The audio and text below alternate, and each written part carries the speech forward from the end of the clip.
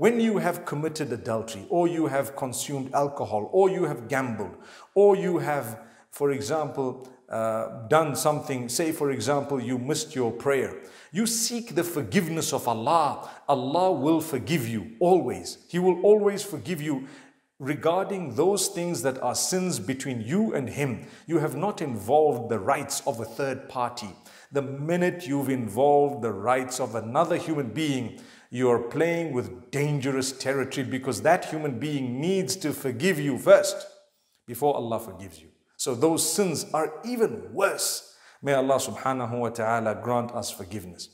If a person engaged in shirk, which is association of partnership with Allah, as bad as it is, if they were to turn to Allah before death and they were to read their shahada or they were to repent, they would be forgiven by Allah. That's in the Quran. Allah says that clearly that He will forgive all sins, subhanallah, unless a person dies in the condition of shirk.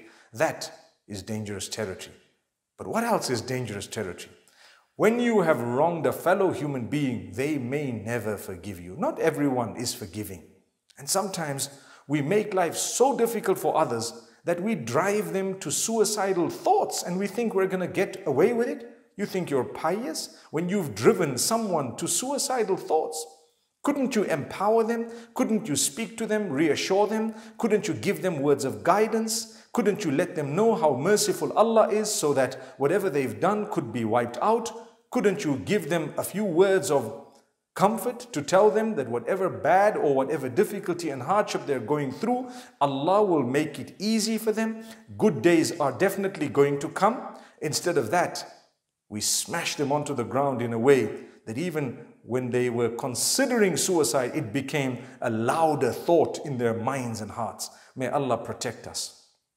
I would never like to be a person whom, because of their speech or actions or deeds, another person felt they didn't want to live anymore. That's not good enough. Why would that? Why would a Muslim do that? Subhanallah. You believe in Allah.